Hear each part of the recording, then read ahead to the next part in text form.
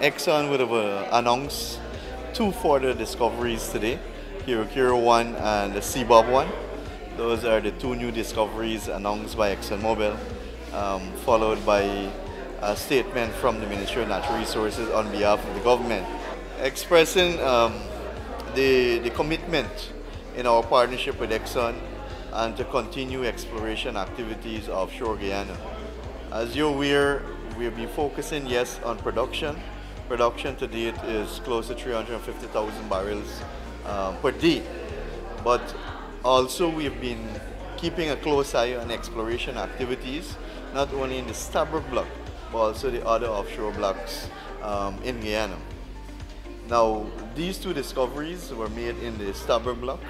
It will add to the 31 discoveries that we have already in the Stabroek block. So there are 33 to date in the Stabroek block and a total of 38 discoveries offshore Guyana because we had discoveries in the Corentyne block, for example, uh, Kanuku block, and those will add to the, the Stabroek discoveries.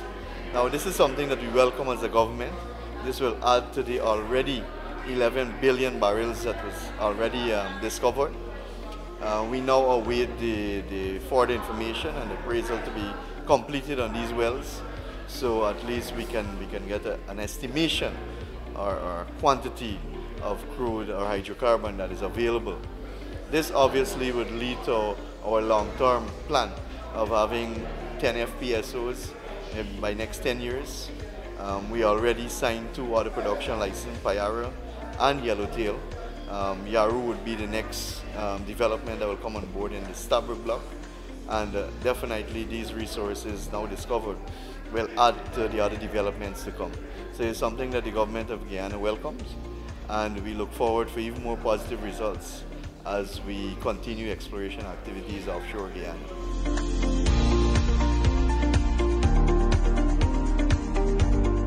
All right, so yes, EPA, EPA now has a 24-hour satellite monitoring um, offshore Guyana, so we can monitor all activities offshore in real time. Besides from that, the Guyana National Bureau of Standards would have a physical presence on all the FPSOs um, but not the drill ships on the FPSOs to monitor what is happening offshore Guyana. Added to that, the Ministry of Natural Resources, we are doing our own monitoring too. Besides from that, we have weekly technical meeting with ExxonMobil technical team to have regular updates as to what is happening in terms of exploration. We've been following um, production, um, but exploration too is important because we want to ensure that that continues and all the energies and resources not contained or confined to production only. Um, in the Corentyne block, we are, uh, we are expecting some amount of exploration to continue there. We've already been told by the company that the second well um, will be drilled later in this year. In the Kanuku block, there is exploration activity. We expect that in the Orange and in the Canje blocks, that next year there will be some amount of drilling in those blocks too. Because our production and most of our discoveries has been centered around the Stabroek block. So it will be, we, we will be happy to have discoveries made outside of the Stabroek block um, as well too, because that will bring development to different parts of the country. For example, the Corentyne block. Should we have another discovery move to development, it simply means more development for uh, Region 6, uh, Region 5 and those areas. Um, they will probably see development that is taking place in Region 3 and 4 right now based on the Stabroek block.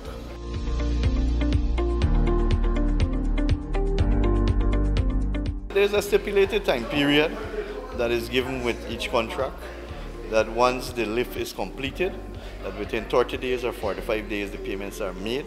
We have never had a, an issue with payment to date with all the companies that we have been dealing with in terms of marketing our crude or buying our crude.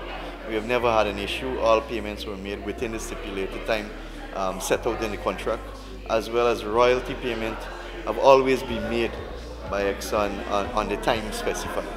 So there is no issue with regards to late payment or payments not being made today.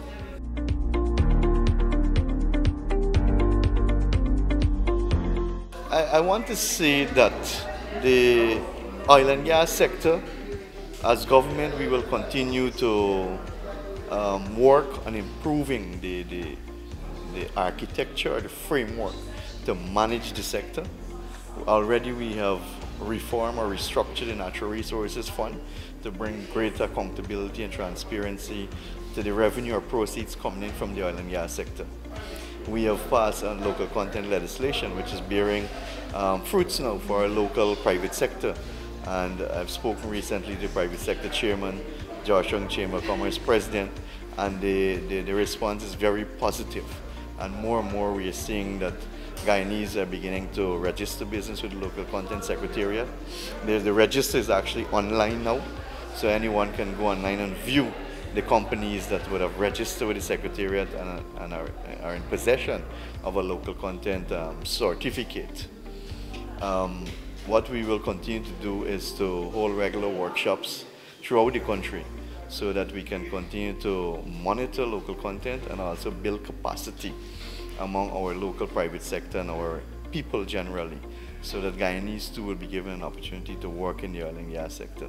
As you're aware, we are working on setting up the Guyana Technical Training College in Port Mourant, Berbice, um, where our young people mostly can be trained to work in the oil and gas sector specifically because it is new to us. We want as much Guyanese as possible to work in the oil and gas sector.